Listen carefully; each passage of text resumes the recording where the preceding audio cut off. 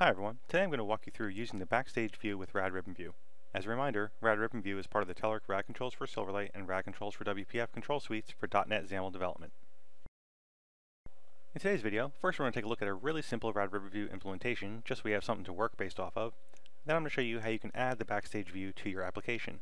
Finally, we'll add some functionality to that Backstage view to really make it stand out and add some really useful features to your application. Stepping into Visual Studio, we can see we already have a Rad Ribbon view up and running, which has a Rad Ribbon tab, which contains one Rad Ribbon group with two Rad Ribbon buttons. Those each have content, so we actually have something to look at. But now if we run this and click on the button that we would expect to launch a Backstage view, we'll see that nothing actually happens. Let's wait a second for Internet Explorer to validate what I just said. And now when we click on this, there's nothing actually going on. We only have a tab and some buttons to work with, but we really want that Backstage view for added functionality. Well, adding this is actually quite easy. If you remember using the Visual Studio Design widgets that we had set up, you can add a Backstage view very quickly with the left widget, which gives you options like Application Menu, Backstage, if you want the Backstage or Application Menu open, and the Quick Access toolbar. In today's video, we're just worrying about this Backstage, so we'll click Add right there. And now we can see, if we look down in our XAML, we've added a Rad Ribbon Backstage. So of course, what can we do to customize this and work with this? Because if we launch it right now, once again, we're going to see that we do have a backstage visible, which is definite progress, but we really, really want to have something actually happening here with the backstage, short of showing you a very nice overview screen. So we'll close down Internet Explorer. First up, we're going to give some content to, the, to that backstage button, which is actually application button content.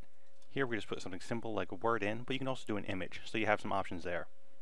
But now actually stepping into the backstage, we want to add some backstage items. So Telerik, rad ribbon, backstage item.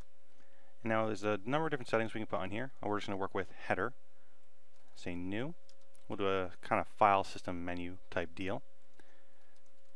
Have four of those. We'll actually do three more and we'll customize them as we go. So now we have a lot of options to add something new. But now we can say new, open, save, close, we can remove the header on this one, is group separator, so we can actually split things up. True. Now header will be recent, and say something like templates. So now we actually are going to have a lot more to show you in the Backstage view, but again, we're still a little bit lacking in functionality. That's going to be the next step we work on, but I just want to show you how these are actually all playing out as we add them to the project. We click on the File for the Backstage tab, and all of a sudden we have this entire look and feel of that standard backstage that you would expect. Very cool stuff, of course. But if you look, I can go ahead and click on any of these, and we have some built-in styling. So now, not only do we have the option to add these items, but we have that built-in styling to really create the look and feel that you expect from the standard Office Backstage view. But of course, now we need some functionality, some content happening here. Go ahead and close Internet Explorer once again, and we're going to customize a few of our Backstage items. In our case, we'll go ahead and say on the open, we have a number of options. So first up, close on click. We'll say true, so that once you hit it, you're not actually going to see that kind of arrow content menu appearing. We're just going to close the backstage view and perform some functionality. For that, you can tie to click or command as you see here. We're just going to do click, make it really quick and easy for a new event handler. And we'll jump into code just to handle that event real quickly. Say rad window.alert opening something. So we'll be able to test and see if that's actually working. But next up, another thing I want to check out is how you actually add more functionality to your Backstage view. And for that, we're using the content property of Backstage items, and you'll see how it actually plays out. So here we can say Telerik rad ribbon backstage item dot content. And now here, since it's content, we can put basically anything in here. So I'll put another button, content equals I'm in recent, and set our horizontal and vertical alignments. But if you want, you can really go nuts with this. We'll step into the templates one real quick. And we'll go ahead and copy and paste this just to give us a good start. And within our grid, instead of doing a button, we'll do a stack panel. Vertical, horizontal alignment is left, vertical alignment is going to be top. And within our stack panel, we can do some buttons. Something nice and simple just so you can see it actually all working. one, two, and three.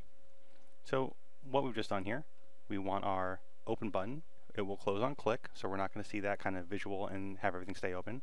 When we click, it should show us a message in a rad window. And additionally, if we click on either recent or templates, we're going to see a much cooler looking backstage view that you can truly customize to fit the needs of your application. Go ahead, spin this up once again, wait for Internet Explorer to catch up with us.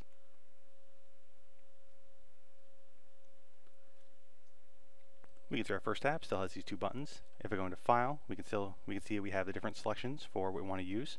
But if I go into Recent, we see that button. If I go into Templates, we can now see that stack panel with our three buttons. So we have this added functionality and truly the ability to customize anything you want to put into this Backstage View content. So if you want to have some rich templates to choose from, if you want to show charts, graphs, analytics, statistics, anything else in the Backstage View, you definitely have that option, and it's, as you can see, incredibly easy to implement in your applications. I hope you've enjoyed watching using the Backstage View with Rad Ribbon View. Stay tuned to other videos in this series, and you can really take advantage of the features and functionality that Rad Ribbon View offer to your line of business applications.